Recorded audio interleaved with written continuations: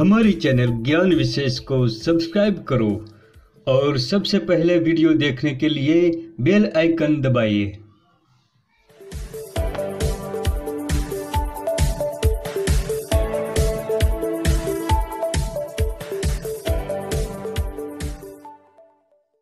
नमस्कार दोस्तों, मैं आपका दोस्त हाजिर हूँ फिर एक नई और महत्वपूर्ण जानकारी के साथ।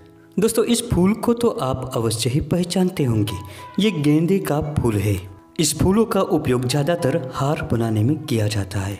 गेंदे के पौधे पर सुंदर और आकर्षक पीले रंग के पुष्प लगते हैं। इसकी पत्तियों से तीव्र खुशबू निकलती है। इसकी वजह से घरों और उद्यानों में इसे लगाया जाता है। ये दुनिया भर में प्रसिद्ध है। इसकी कई प्रजातियाँ भी पाई जाती है। इसमें ज़्यादातर हजारा, सुरनाई, कोकहान और दलचक्र प्रमुख है। इसके पुष्प भगवान को चढ़ाए जाते हैं और माला बनाई जाती है। दोस्तों, अगर आपको हमारी वीडियो पसंद आती है तो चैनल को अभी सब्सक्राइब करें, बेल आइकन दबाएँ और ऑल नोटिफिकेशन पर क्लिक करें, जिससे हमारी हर नई वीडियो की जानकारी आप तक पहुँचती रहे। संस्कृत में इसे झंडू गणेरुक, स्थूल पुष्प आदि नामों से पहचाना गया है, जबकि हिंदी में गेंदा, गुलतोरा, कलग और हजारा जैसे नामों से जाना जाता है। इसे मकबरनी भी कहा जाता है। इसके अलावा देश के अलग अलग भाषाओं में इसके अलग अलग नाम है। आपके क्षेत्र में इसे किस नाम से जानते हैं, ये ज़रूर बताएँ। दोस्तों ये सुंदर पुष्प वाला गेंदे का पौधा लगभग आधे फीट से दो फीट तक ऊँचा और सीधा बढ़ता है। ये पौधा वर्ष भर रहता है और फूल भी वर्ष भर खिलते हैं। इसके फूल गोल आकार वाला सुंदर पीले और नारंगी रंग का होता है। इसकी पंखड़ियों के नीचे बीज होते हैं। जो काले रंग वाले, लंबे और बारीक होते हैं। आयुर्वेद के अनुसार गेंदा, स्वाद में कटु, कसीला, तिक्त, शिथिल प्रकृति का और पचने में हल्का होता है। ये रक्त को स्तंभन करने वाला, रक्त शोधक, सूजन मिटाने वाला और कप पित्त मिटाता है। इसके अलावा ये कुष्ठ मिटाता है, भूत बाधा को दूर करता है और ज्वर में लाभकारी होता है। इसके अलावा भी इसका एक विशेष गुण होता है, ये कामोत्तेजना को बढ़ाता है और कामोत्तेजना को नष्ट भी कर देता है। दोस्तों, ये दांतों के दर्द को दूर कर देता है। इसके लिए आपको गेंदे के पत्रों का क्वाथ बनाकर कुल्ला करना चाहिए। कुछ दिन लगातार और दिन में दो बार ये प्रयोग करें। शीघ्र ही दांतों का दर्द दूर हो जाता है और दांत भी मज़बूत बनते हैं। अगर आपके दांत पीले पड़ गए हो तो इसका रोज़ाना इस्तेमाल करने से दांत की चमक बढ़ जाएँगी और सफ़ेद बन जाएँगे। इसके पत्तों का रस निकाल कर एक से दो बूंद नाक में टपकाने से ही नक्सिर बंद हो जाती है। अगर आप कान के दर्द से परेशान हैं तो इसके पत्तों के रस की एक से दो बूंदे कान में डालें।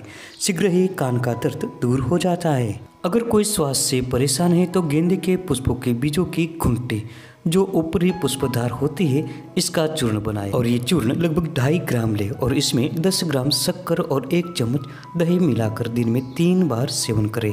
कुछ ही दिनों में दमा और खांसी मिट जाते हैं। इसके अलावा इस सुंदर पुष्पों का चूर्ण बनाए और इसमें समान मात्रा में मिश्री मिलाकर एक चम्मच पानी के साथ दो से तीन बार सेवन करें। इस प्रयोग से भी खांसी और दमा मिट जाते हैं। गेंदे के पौधे की प्रकृति शीतल होती है, ये बवासीर और अर्श को मिटा देती है। इसके लिए 10 ग्राम गेंदे के ताजे पत्तों का चूर्ण बनाए और इसमें 2 ग्राम काली मिर्च मिलाए। दोनों को अच्छी तरह से मिलाकर पीस कर पी जाए।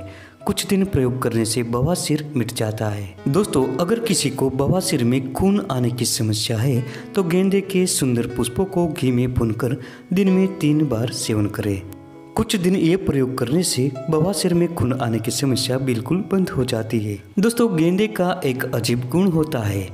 इसके काले रंग के बीजों को चूर्ण बनाकर उतनी ही मात्रा में मिश्री के साथ मिलाकर दूध के साथ सुबह शाम सेवन करें तो ये स्तंभन शक्ति बढ़ाता है और वीर्य भी बढ़ता है। लेकिन बिना कुछ मिलाए सिर्फ़ गेंदे के बीजों को कुटकर खाने से काम शक्ति समाप्त हो जाती है।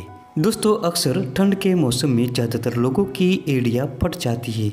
अगर किसी को ये परेशानी है तो गेंदे के पत्तों का रस निकाले और वेसिलिन में मिलाकर हाथ और पैरों पर लगाए। इससे फटी हुई एड़िया मुलायम बन जाती है और पैरों की खुश्की दूर हो जाती है।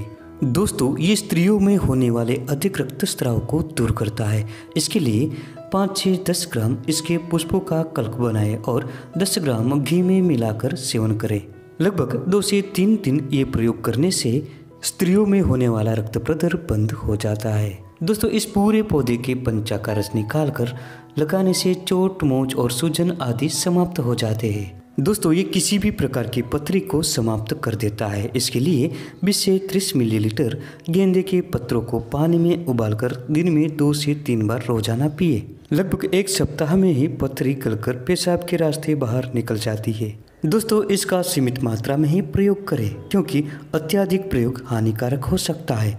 इसका ज़्यादातर प्रयोग काम शक्ति घटा देता है। तो दोस्तों, ये थी आज की महत्वपूर्ण जानकारी। वीडियो पसंद आने पर लाइक करें, शेयर करें और चैनल को सब्सक्राइब ज़रूर करें। मिलते हैं अगली वीडियो में फिर एक नई जानकारी के साथ।